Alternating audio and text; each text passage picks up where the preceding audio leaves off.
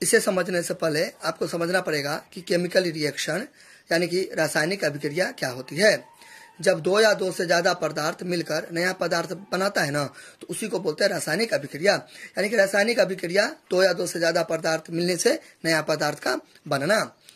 तो रासायनिक अभिक्रिया में जो भाग लेता है, जो पार्टिसिपेट करता है, ठीक है, जो हिस्सेदारी होता है तो वो होता है रिएक्टेंट और जो बन के जो तैयार होता है, नया वाला चीज़, उसको बोलते हैं प्रोडक्ट इसको आप आसानी भाषा में समझो। मान लो आपको खीर बनाना है तो खीर बनाने के लिए आपको चाहिए चावल चीनी चाहिए, दूध चाहिए पानी चाहिए वगैरह, ये सब चाहिए, ठीक है? तो ये सब खीर बनाने के लिए ज़रूरत है तो सामग्री है तो ये रिएक्टेंट हो गया। नया चीज़ आपका क्या बना? खीर बना तो वो क्या हो गया आपका? प्रोडक्ट हो गया। अब इसको एक और एग्ज़ाम्पल से समझो।